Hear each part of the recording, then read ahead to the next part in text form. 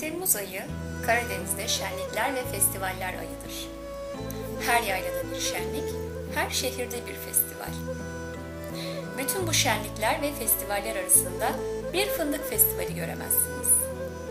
Dünya fındık üretiminin %75'ini üreten Türkiye'de bir fındık festivali yapılmıyor. Türkiye'de yapılmıyor, Karadeniz'de yapılmıyor, dünyanın en kaliteli fındığını üreten Giresun'da yapılmıyor. Ama Tirebolu'nun şirin bir köyünde yıllardır fındık festivali yapılır. Bu yılda yapılacak. Fındık bizim kutsalımız, fındık dünyanın kutsalı.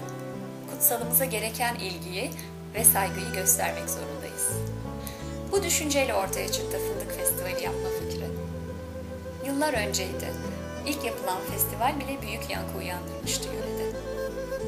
Çömlekçi Vadisi'ni aşmış, yerel bir etkinlik olmaktan çıkmış, geniş bir kitleye ulaşmıştı. Bu bize cesaret verdi, heyecanımıza heyecan kattı, şevkimizi arttırdı. Ve Çömlekçi Deresi Fındık Festivali bölgeye mal oldu kısa zamanda. Çömlekçi Deresi Fındık Festivali'nde sadece bir halk konseri düzenleyip çalıp oynamakla kalmıyoruz. Bunları da yapıyoruz elbet. Fakat özellikle yöresel ve kültürel değerlerimizden de örnekler sunuyor, bu değerlerimizi yaşatmaya çalışıyoruz. Yorucu bir fındık sezonu öncesinde coşuyor, eğleniyor, fındığa hazırlanıyoruz. Bununla birlikte yöresel özelliklerimize de dikkat çekmeye çalışıyoruz. Fındıkla ilgili kültürel birikimlerden bir demet sunuyoruz. Gelenek ve göreneklerimizi canlı tutma adına bunların ortaya konulduğu sunumlar yapıyoruz.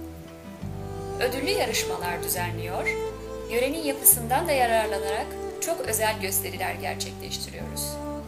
Bütün bu sunumları yerel televizyonlar aracılığıyla tüm dünyaya iletiyoruz.